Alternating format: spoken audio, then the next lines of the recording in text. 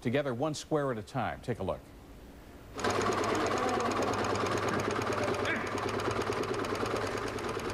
The industrious scene earlier today at Artcite Gallery on University Avenue West. A labor-themed quilt under assembly colored to represent the blood, sweat, and tears of the labor movement. It's all part of the upcoming Mayworks Windsor 2011. The month-long celebration highlights support for the city, Windsor's history of solidarity, concern for social justice, and tradition of arts and labor. This is scheduled to be complete in time for the annual May Day parade.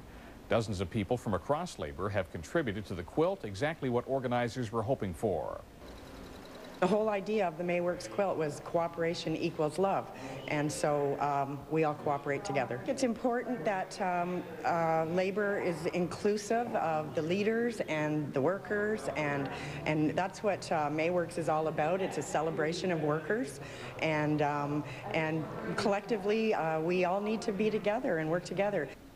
The 15-foot quilt will actually take eight people to carry to the May Day parade, after which it will be placed on display at 10,000 villages.